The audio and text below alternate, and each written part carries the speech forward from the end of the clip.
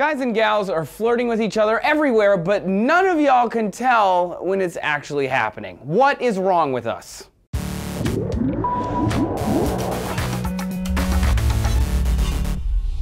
Howdy hotties, Trace here reporting for D News. I'm a flirt, I've been told. I swear, I don't even know I'm doing it, and apparently neither does anyone else, according to a new study from the University of Kansas published in Communication Research.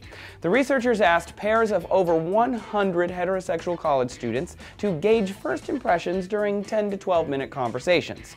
Afterward, each person filled out a questionnaire and was instructed to indicate if they felt that they had been flirted with, and if they had done any flirting themselves. Oh, science is hot. In the end, only 36% of the males and 18% of the females correctly wrote that they'd been flirted with. That's really bad, guys. This is really bad. And the worst is 80% of the time, both groups knew they weren't being flirted with. So I guess the negative we got. The researchers are showing that we suck at flirting, or at least at knowing that it's going on.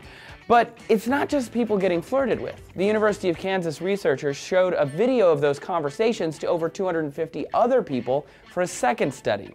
You might think you'd spot other people's attempts at flirtation straight on, right? But no, our wingmen and wingwomen are crap with their flirt-dar.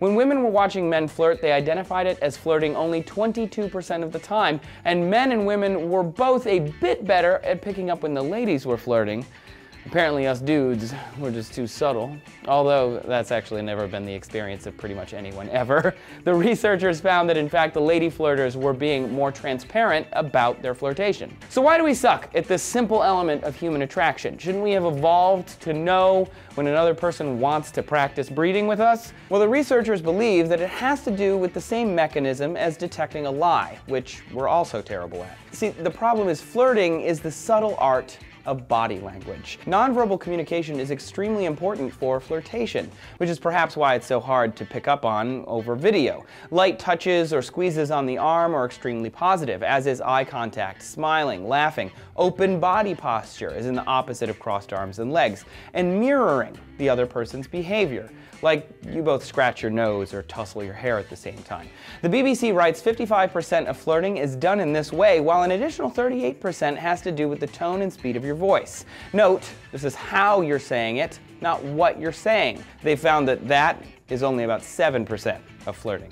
This supports the idea that flirting is driven not by pickup lines, fancy cars, or titles at work, but by your nonverbal cues, our tones of voice, and many other subtle factors. So it's not surprising to me that people are really bad at picking it out if you think about it. The lead researcher in the Kansas study said not to assume everyone is flirting with you, but if you're at a location where flirting is common, like a social gathering or at a bar, and you miss the signs, then quote, that's on you. How do you know if someone's flirting with you? Do you think you can tell? Share some flirting tips in the comments and be sure you keep them respectful. And thanks for watching D News, everybody. If you're into looking deeply into the eyes of some earth science people from NASA JPL, then tomorrow, June 24th, you should come to our hangout. The links to RSVP are in the description. 30% of NASA JPL is Earth-focused science, so there's a lot for us to talk about. Come join us.